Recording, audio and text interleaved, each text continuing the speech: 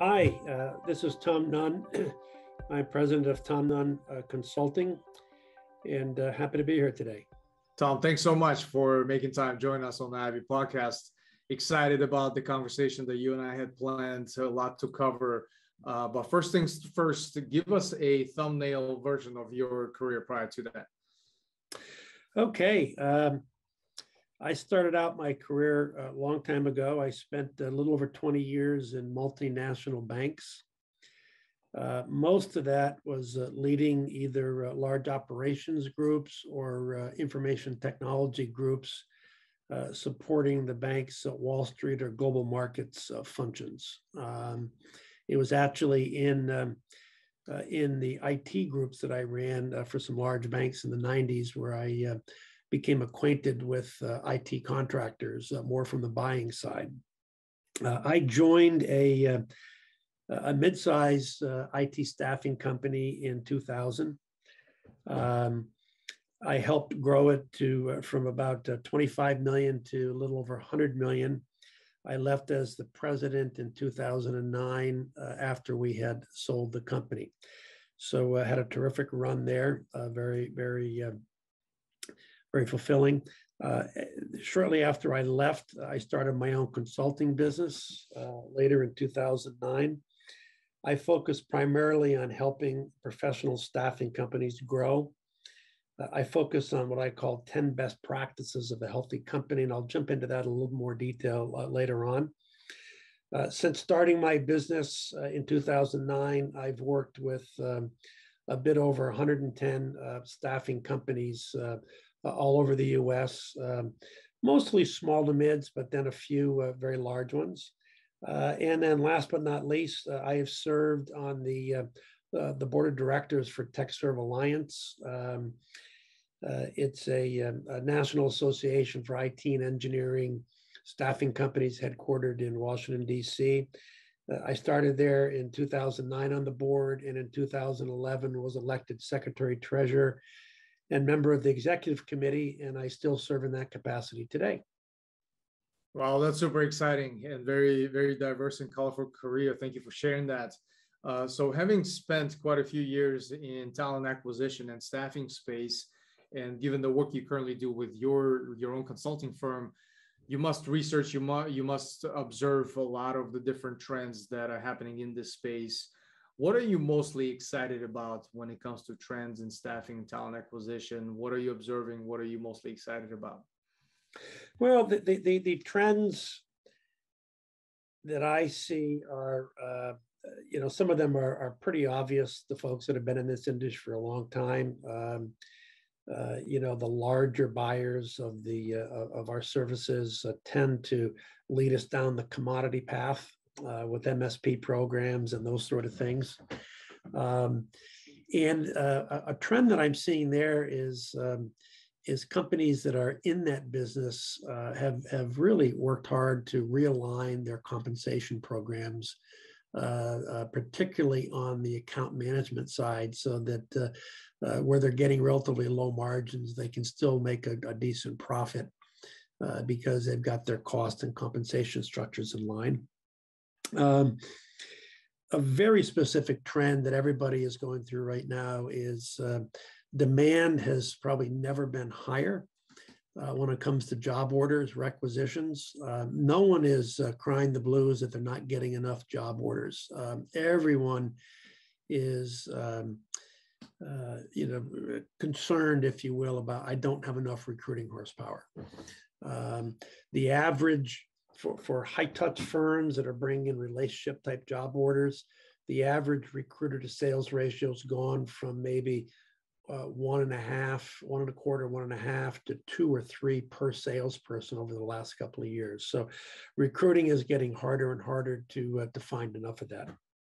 Um, I think the um, uh, some of the technology uh, innovative trends, uh, innovation trends that I'm seeing is um, and I spend quite a bit of time talking with uh, with my customers on this. I have, in addition to some uh, a lot of consulting customers, I also run peer group roundtables that are organized by company size, and uh, every single one of them uh, spend some time talking about their tech stack, talking about some of the automation, some of the things that are are coming along that they need to uh, stay in touch with. So to touch on a few of those, the um, artificial intelligence, things like chatbots, things that are taking very routine uh, tasks that a salesperson or recruiter might do and, and automating it. Um, there are things like Herefish and Sense, which are two pretty well known, known tools that are out there that uh, uh, help enhance the uh, onboarding of consultants uh, or the, uh, the, the I wouldn't call it mundane because it's important, but for lack of a better term, some of the mundane keeping up with them tasks and uh, keeping things going. So that's all what they call artificial intelligence. it's a computer doing the work, and that that certainly makes things more more efficient. Um, also, some uh, uh, uh, some of those tools that help with uh, database integrity. I'm a data person. I've always been a data person, and uh, I can't tell you how often um, I'll work with a company that um, um, I'll say, you know, if you begin to look at this data um, more specifically, uh, particularly if it's high level data, uh, it'll it'll it'll really help you out as an executive. And then they go and do the work, and they say, I can't rely on the data because it's not being input consistently, or the data's all messed up. So, a lot of work to make sure that uh, and some uh, AI uh, to help with keeping the database updated and making sure there's good integrity there. Um, chatbots. Uh, I remember distinctly the first time that um, I didn't even know I was talking to a chatbot. I was sitting in my car uh, took a call and it was uh, from a person asked me if I was interested in being an Uber driver. And it took me about 45 seconds because I kept on responding. And then the, uh, the what I thought was a human would respond back. And it took me 45 minutes, seconds or a minute to realize I was talking to a chatbot.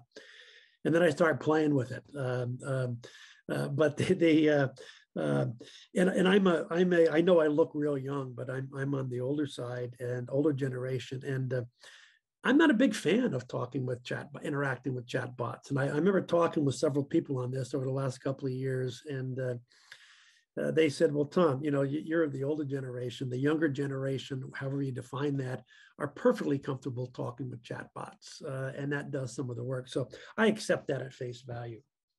Um, you know, one of the things that uh, I'm actually uh, pretty involved with with um, uh, with TechServe and some of the things they're rolling out, but they've got a very exciting um, uh, partnership they've got going with a company called Veremark, uh, and it's really uh, making background checks very much more efficient. Um, yeah, I do a lot of work with CFO types, and they're always lamenting the fact that onboarding a consultant takes too long, particularly in this uh, environment where if it takes three weeks to get a darn background check back uh, because of all the work that has to happen, oftentimes they'll lose the candidate that says, I'll take the offer, but then uh, you're too late because it takes too long to do background checks. So the, uh, the exciting thing that's going on there is something called a, uh, a career passport. And I'm really excited for, for this. I think it's going to take some acceptance on the client side.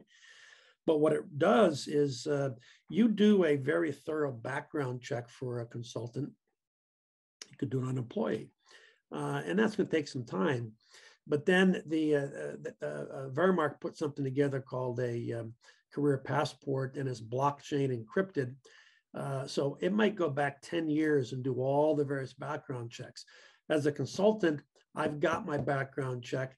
Then six months later, I go to another gig and I've and that employer wants wants a background check. Well, guess what? You've only got to go back six months if they accept this because it's blockchain encrypted and it can't be changed so that you've only you're just getting an incremental backup i think that's uh, ingenious uh, and if if uh, if that helps shorten the, the, the time frame for doing uh, background checks it's going to enhance the um, the ability to get get uh, get people up to work um, I think it's um, also uh, from an innovation perspective, and whether you call this innovation um, or not, uh, I, I, I, will. A lot of what I do in my consulting business, and yes, I've got a lot of experience in the uh, professional staffing world with talent acquisition because I've been in that industry for 20 years.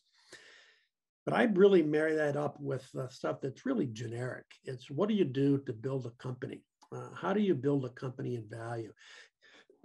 you know, a very interesting statistic is uh, at least in TechServe, where I, am I'm, I'm very involved. Uh, we've got about 325 members, of which 80% are under 20 million and 67% are under 10 million. It doesn't take a lot of capital. It really takes some entrepreneurship and some chutzpah to start a staffing company, uh, and you get to that first five million. You, uh, it's that much harder to get to 10, and it's that much harder to get to 20. And I would guess that there's only less than 5% of the industry of thousands of companies that are over $100 million. It takes some hard work. So I do something called the 10 best practices of healthy companies. Uh, and I'm going to read these off pretty quickly. Uh, we could spend three more webinars diving deep into those, and, and, and that's not for today. Right. But the 10 best practices of healthy companies, um, uh, in a nutshell, are uh, they develop and maintain a desirable culture. They follow effective hiring practices. They have effective accountability systems. They have consistent and effective compensation systems that emphasize pay for performance. They develop a high performance leadership team. We're going to talk a little bit more about that later, I think, in the webinar. They use key performance, performance metrics to measure things. They hold productive and compelling meetings. They have efficient and scalable operations and administration, and they have effective planning and goal setting. So I'm sure uh, you'd all agree that uh, there's nothing whatsoever specific to talent acquisition or staffing with those 10 best practices. They're all pretty generic. Uh, but these truly are uh, uh, um, uh, maybe not the only 10, but some of the, the, the 10 most important things for companies to focus on getting better at if they want to go from that 5 million to 10 million to 20 million and, and 50. And then really to do that, you got to throw in a heavy um, uh, a, heavy, a heavy dose of discipline because um, these uh, oftentimes uh, take one out of their comfort zone uh, and requires discipline. Um, I also think it's important when we talk about uh, about trends uh, to talk about re remote work trends. remote work is is um, arguably here to stay. Um, everybody was really forced into that at the beginning of COVID. I can tell you from personal experience, prior to about February or March of 2020, I could probably count on one hand uh, the, the number of video meetings that I was in. Um, and then I started doing, uh, you know, Zoom and go to meeting and Teams and getting in video meetings. And I'll have to say the first half a dozen of those um, were a little bit, um, uh, took a little bit of getting used to and now I am just so used to it. And I do 10 or 15 a week. It's cut down on my plane travel. It's made things more efficient. Uh, and I think that's here to stay. I've heard some really, really good things uh, in the, in the uh, staffing industry of uh, salespeople that say, you know, I don't have to jump in the car and do a two hour commute to uh, Manhattan or downtown LA uh, I can do uh, if uh, I can I can talk to my customer via the uh, via a, a, video chat. So that's here to stay. And in fact, one of the things that's happening with remote work from two perspectives. One, a lot of people aren't going to change jobs and go to another staffing company if they're not allowed to to at least work some of their days at home. And then on the consultant side, there are many consultants these days that are saying uh, I will only take a job if I'm allowed to do it remotely. Uh, and that's opened up uh, middle America, uh, if you will, to uh, uh, people that, that, you know, live in Boise, Idaho, for example, that have no desire to go to Manhattan or San Francisco or Dallas to do a gig. but, but the customer is perfectly comfortable with them doing it remote. Some of the um, um, anyway, th th those are some of the trends that I'm really seeing. Uh, what I'll say is one one trend that I'm very excited about, and this has literally nothing to do with staffing, and uh, uh, and that's uh, something called uh, mRNA, messenger RNA. For those of you that know what that is, uh, that was a technology that was used for the COVID vaccine. I have to tell you that I was good in math and history and all that stuff in high school. Uh, I wasn't very good with biology, but I, I read a book last fall called The Code Breaker uh, by Walter Isaacson, who's one of my favorite authors. Um, And it's all about um, starting in 2012, 2013, the competitiveness and how messenger RNA uh, uh, uh, uh, developed and how that really brought the on the COVID vaccine. And the reason I mention that is toward the end of the book, and it, it really just it, it really just hit me uh, um, big time. It, it he, he, basically says the um, um, what microchips where they were in the late 50s and early 60s is where mRNA is right now. Uh, and, uh, uh, you know, digital, uh, the digital revolution and the genetic revolution are marrying up. So obviously that has nothing to do with staffing uh, it per se, but it's fascinating. One of the, uh, one of the worldwide innovations that's coming along. Yeah, that's super interesting. And it, it, coincidentally, I was recently reading an article about um, relating to mRNA about, uh, I, I, believe is her name is Dr. Kariko, um, where she basically has been working on this for many, many years, most of her career. And the even when the grants were actually pulled and she didn't have any more funding to continue the research, uh, she actually still kept going and going uh, and proving the, that technology so that uh, that's been uh, kind of just very interesting how after so many years of development and research it only came about just recently as an actual you know something that actually works so that definitely resonates on so many levels. And you also talked briefly about you know the the challenges in the staffing space and talent acquisition um, especially now with organizations opening up you know opportunities on a fully virtual scale uh, which brings another set, set of challenges for for companies to be able to to operate and build um, as well as lead high performing hybrid teams on a global scale whether you have you know fully virtual team or whether you have half on site on prem and half that are fully virtual curious to get your thoughts on that perspective as you perhaps consult with your client organizations from that standpoint what are some of the thoughts and some of the strategies that you share with them on building and leading high performing teams on that global scale? Well, I actually do a lot of work um, in that. That's one of the 10 best practices is mm-hmm. um, really two of them. Uh, they have strong uh, uh, people and team development systems. Uh, and they, they have good uh, effective hiring practices. And I'd love to talk about both um, as we go through uh, this afternoon. I think one of the cornerstones of success for uh, for a growing company is to focus on high performance teams. And high performance teams can be it can be uh, uh, high performance teams can be your sales and recruiting teams. Uh, companies that thrive in this business, sales and recruiting work as partners. Uh, and there's excellent teamwork. They push each other like good teammates should do, uh, but there's excellent teamwork. Um, uh, low performing teams, which can really be detrimental to a staffing company's growth, are uh, when sales blames recruiting, uh, when they don't get the fill, and recruiting blames sales uh, for bringing in bad job orders. Uh, uh, which is why they can't make any money. So high performance teams are that. I do a lot of work with what I call leadership teams, which are executive teams, and I actually have a survey that I do uh, with executive teams, and um, we use that as a basis for improving. So uh, uh, I've got something I'm going to read off fairly quickly um, or, or, touch on very quickly, which is the 10 characteristics of high performance teams. Um, in no particular order, number one, they understand the purpose of the team and are focused on results.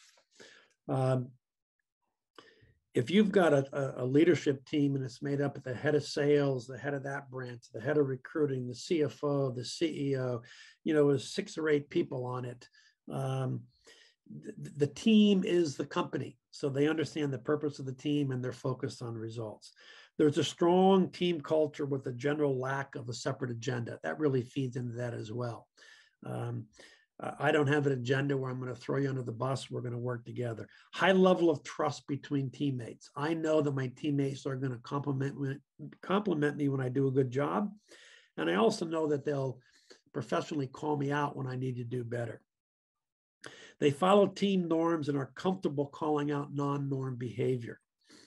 I do a lot of work on, uh, on something called what are the norms of conduct uh, on any team. Um, Uh, they're accountable to the team and support team decisions outside of the team. Um, one of the norms when I was in the business is um, speak up now if you disagree, and we'll talk it through. We may agree to disagree, and then as a team, we're going to go in this direction. But once we do that, you support the decision. You don't need to say, I agreed with the way we're going to move forward, but you need to say, but we talked about it uh, and I agree with the decision, or, or, excuse me, I don't necessarily agree with it, but I support it. They're pra- they practice and are good at open communication and productive conflict. I use productive conflict all the time, and that is conflict could be defined as when there's one or there's two or more uh, uh, opinions on something. Uh, productive is we talk about it productively. Uh, I use the term be direct with respect. You need to know exactly where I'm coming from and how I'm feeling, but I'm going to do it very respectfully. Um, when there's productive conflict, great things happen. They're made up uh, of and are tolerant of diverse styles within the team. You know, it, stereotypically, uh, you know, an entrepreneurial CEO is different from a uh, from a CFO. Um, whether you could argue that their brains are made up differently, and we don't necessarily have to go there, but they have different ways of thinking and approaching things. Teams are very accepting, and in fact, the best teams are made up of people of all different types of uh, of styles because it, it, it, will bring out the best. Um, they're comfortable putting any issue on the table. I got to tell you, uh, I've been in some some uh, some uh, leadership team meetings where some really tough issues got put on the table. Oftentimes about someone, maybe even on the team, that that uh, probably was going to be let go. But you got to deal with it. You got to put tough issues on the table. When they meet, there's a general lack of hierarchy being observed. This starts with the owner or CEO sitting in the meeting. If he or she um, uh, doesn't allow or people are not comfortable uh, disagreeing with him or her, all is lost. So uh, when you meet, uh, um, in fact, there's something in the uh, the the, the when you meet, you know, there could be two or three levels starting with the owner in the meeting. Egos are left at the door, ranks are left at the door, and everybody has an equal say, and everybody's very, very comfortable. In fact, I also do a lot of leadership training, and uh, what I uh, our leadership coaching, what I uh, say to the, if you're the leader in the room, give your opinion last. If you give it first, you're anybody, any subordinate in the room, even if they trust you, uh, has to uh, filter through their brain. Do I do I want to disagree with Tom? Uh, so if you want to get the honest answers from someone, ask them their opinion first. Don't give your opinion first. Like and then that. last, last and not, but not least, there's an ongoing assessment and continuing focus on how they, how they perform as a team and as individuals on the team. I said in my introduction that uh, I was uh, fortunate to be in a company that uh, grew from 25 to over 100 million. And I'll have to say, we put in an awful lot of work uh, developing uh, a high performance leadership team. And that was, uh, was certainly one of the most important reasons why we are able to grow. Um, I also use something when I'm, uh, uh, um, uh, I could use this when I'm look when I'm helping someone hire somebody, or when uh, we talk about uh, um, self improvement, uh, because everybody should be spend a little bit of time on self improvement. But good teams are made up of people that have a trait called vulnerability. Um, I like a particular definition of vulnerability that says uh, someone that's comfortable being vulnerable is open to and capable of being emotionally wounded. Um, people and teams that accept uh, vulnerability as a valuable trait, uh, um, uh, people that, that are comfortable being vulnerable, it's easy for them uh, to say, I don't know the answer. I made a mistake. I need help your idea is better than mine. And from a team perspective, teams that are comfortable with being vulnerable can say, we're not doing a very good job with that. We need to change the way we're doing something. Uh, we made a terrible mistake and we've got to fix it. Uh, someone that's incapable of being, being vulnerable, uh, and we've all been around them in our lives. Uh, um, uh, they, they, they've always got the right answer. They'll never say, I'm sorry. And uh, so vulnerability is an absolute key trait. Um, and to, to improve on almost anything, and I use this uh, in my personal life, my professional life, and in my coaching life, um, the concept of get comfortable being uncomfortable. Hmm. Any, anybody that's uh, listening to this podcast, jot that down.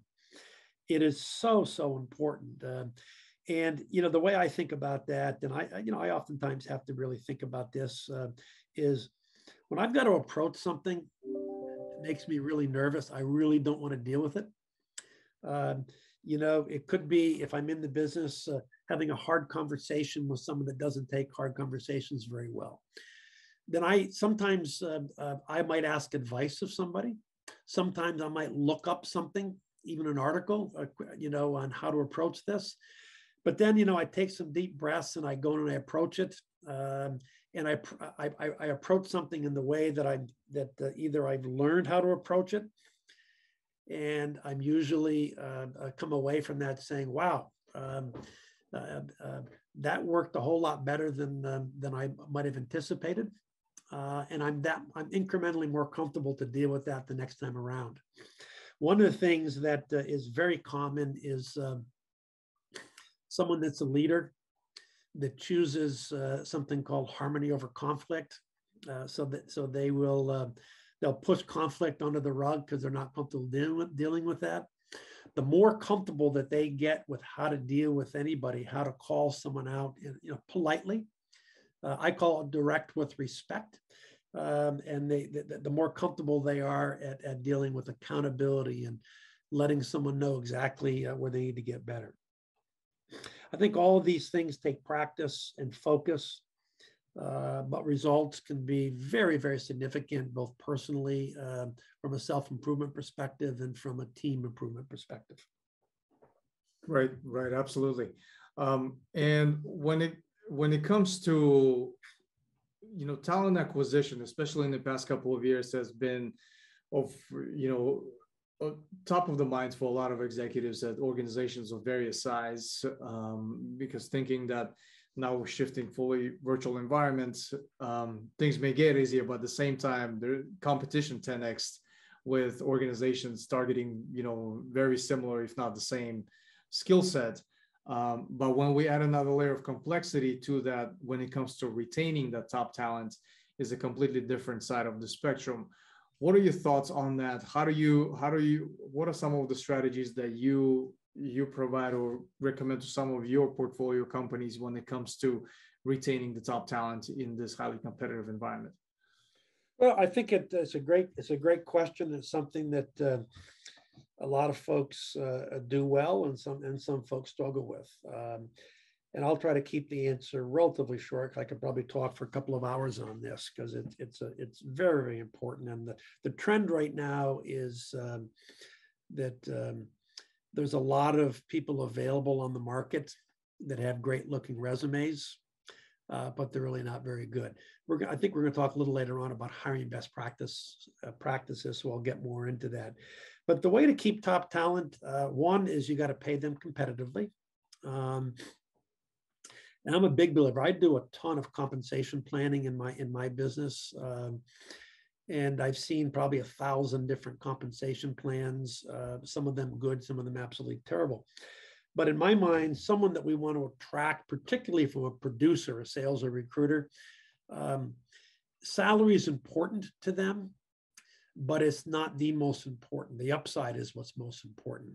Um, so you know you got to have a decent market salary uh, but it's it's it's the upside. I want to attract people to say, you know, I'm happy coming in for a sixty thousand dollar salary, but I want to make three hundred sixty thousand. So tell me more about your commission plan if I can really produce. So you want to have a good competitive commission plan that has unlimited upside for people that can produce. Um, another aspect is what is your culture like? You know, we talked about culture and I do I do surveys on those best practices and um, uh, and I might, uh, uh, someone might give straight, you know, a plus to our culture, and I'll say why, and they'll say because it's it's fun, it's ethical, uh, it's a happy place to work. Um, and those are certainly uh, uh, important aspects of a culture. But I just have to really probe a little bit before they, they you know, they'll, they'll, say, oh, maybe maybe I give myself a B or a B minus. I'll say, is, is your is your culture highly accountable? Do people do what they're expected to do? And when they don't, um, when they do, are they rewarded?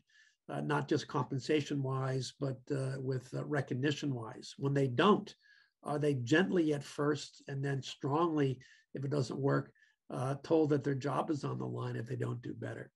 Uh, one of the one of the common things, uh, which is terrible in our industry, is if you're a million dollar producer, you're the best salesperson in the company, but you're absolutely obnoxious. Um, and uh, recruiters love you when they're placing your people because they're making money off you. They can't stand you when you're telling when when when the, when the salesperson is uh, is yelling and screaming at them.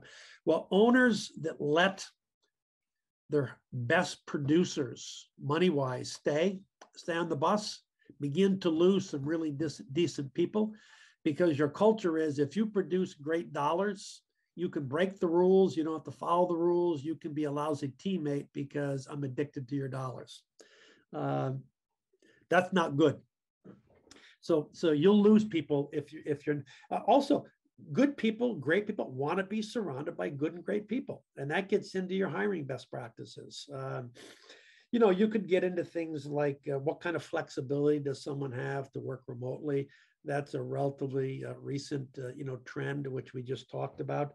But I think that the um, if someone is making good money, they feel well paid, particularly with their upside. They think they've got a decent salary. They love the culture because it is fun and it, it is ethical, but they're surrounded by other fun and ethical people and good teammates uh, and it's a accountable culture, um, uh, you're not going to lose, uh, you know, that many people. Um, and uh, so that that's that's really one of the ways I look at that. One of the trends that uh, not not a week goes by that I don't hear someone talking about it. It used to be going back a couple of years that uh, uh, you know your your B and C players on the recruiting side would go to corporate America, and they go from making a sixty thousand dollar salary and maybe they're making 20,000 in commissions because they're not all that good. And they go for an $85,000 salary at ABC Corp. They become a corporate recruiter. So we used to lose the people that wanted the high salary, not much upside. Um, and most people said, you know, nice person, but they weren't a great recruiter. Good luck. Uh, now they're losing some darn good recruiters uh, that are going for, you know, 100, 130, 150 to uh, Facebook and those places. And what I can tell you is that's a tough, uh, a tough pill to swallow. But I've yet to talk with the CEO that said I'm going to match that person's uh, salary at 130,000. Um, I don't know if that trend will continue. I was talking to someone the other day that said, uh, you know, someone went for a pretty big salary, uh, you know, uh, nine months ago to corporate America. Um, the owner was keeping up with that person that said, I put 26 people to work in the last six months. Um, and uh, uh basically, what it came down to uh, was okay, I got 26 resumes uh, because it was a well known company. I got I got a thousand resumes. I sorted through a bunch of them. I passed them on to the hiring manager uh, and I, I got 26 starts, uh, no commissions, but 26 starts. So uh, I don't want to say that recruiters in corporate America aren't any good. Uh, that's not what I'm trying to say. I'm just saying that uh, recruiters uh, that are money motivated and want unlimited upside. same thing with sales. So um, anyway, I don't want to get too long-winded on that, but it's definitely a trend. but um, you know, your culture and how good or how not good it is is an absolute um, important thing to, to retaining retaining your talent. Right, absolutely. No, that makes perfect sense. And with the amount of research uh, and you know that you do for your line of work, I'm curious to get uh, an insight into into your content diet or information diet that you prescribe to. What are the different sources that you consume on daily basis to keep yourself informed and educated on all things going on in, in your space? Well, it's the um, I got to think about that. The uh, I don't watch a lot of TV.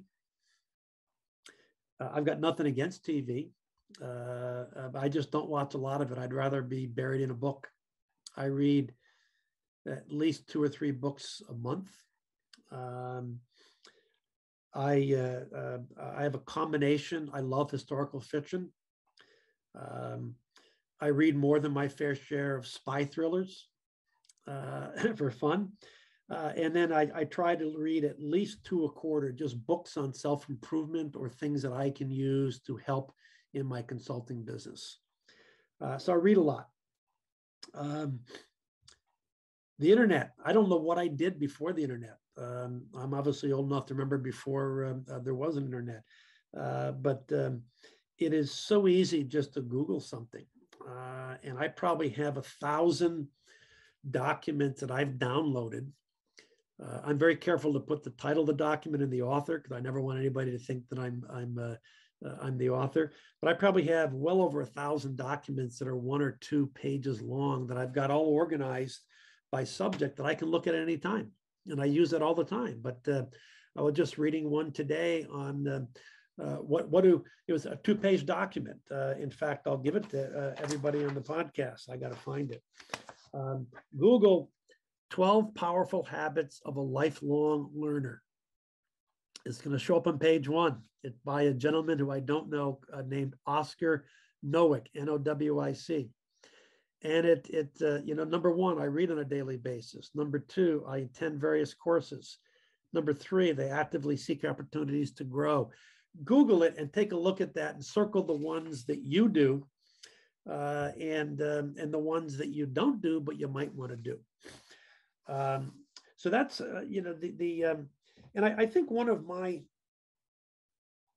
probably most important things uh, that is just in my DNA, and I think I got this. I know I got this from my dad.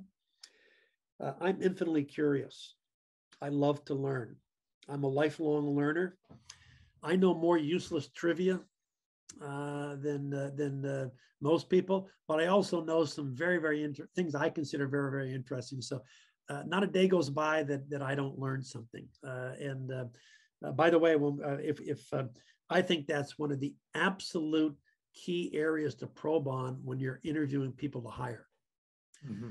One of the other trends in the industry to go off on a tangent for a second is a lot of companies are no longer hiring, saying you got to have talent acquisition experience because there's so many rejects that have a great looking resume, but they've run out of gas and they come in for these big guarantees and they don't produce anything. So the other trend, uh, which is very interesting, uh, is a lot of the real big companies historically would hire people right out of college. They do a lot of campus recruiting. Even that is becoming less and less common. So the trend that I'm seeing very distinctly, whether it's a very large company or even small companies, is I'm looking for someone that might be two, three, four years out of college.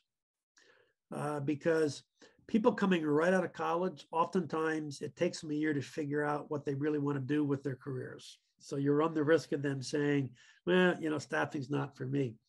So bringing someone in that's got two, three, four years, sometimes more, maybe they're in a hype, uh, uh, um, um a sales function that dial all day and meet people and all that, and then you can bring them on.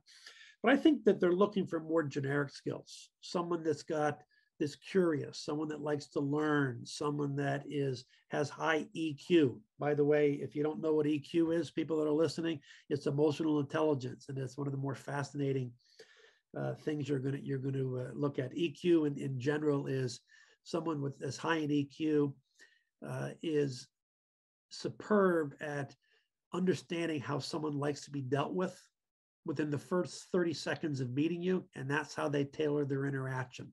They're very likable, they easily connect, uh, and they can hold on a conversation uh, with almost anybody. Uh, tell me that that doesn't fit someone that's a great recruiter or a great salesperson in our industry. So, yeah. someone that's got high uh, EQ, someone that's got great motivators, they can articulate their motivators, and someone that uh, uh, uh, can can convince you they like to learn I also like to probe on vulnerability. Again, we could go on and on and on on, uh, you know, what are uh, what are the For great- sure. What are we can probably do a we can probably do a round two on that specific uh, on that specific topic, which is definitely very fascinating, very interesting. So I appreciate you bringing that up. And Tom, in conclusion, what what is one book that you always recommend to others, and why is that? Well, the um, I had a hard time on that one because I was doing a little prep on some of the questions I knew you were going to ask me. And um, when it comes to um, something that would be good for you and good for your company, how about I narrow it down to uh, my favorite author and and two of my favorite books. Uh, Patrick Lencioni uh, is I've read every one of his books going back 20, 25 years. My two favorites are The Ideal Team Player, which he came out with maybe five years ago.